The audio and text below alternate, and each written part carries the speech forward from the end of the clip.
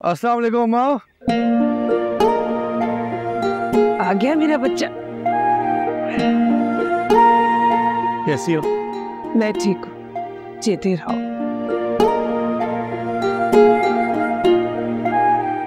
सलामकुम अम्मा।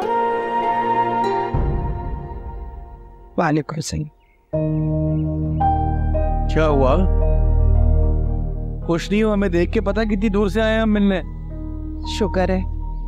तुम्हें मेरी याद तो आई। नहीं अम्मा।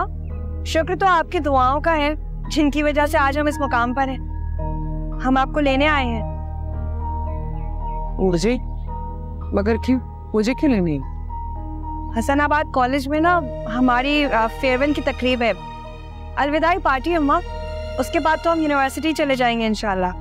हमारी ख्वाहिश है कि आप हमारे साथ हों। मैं आऊँ या ना आऊँ? मगर इस तकरीब में रुतबा बेटी ज़रूर आएगी।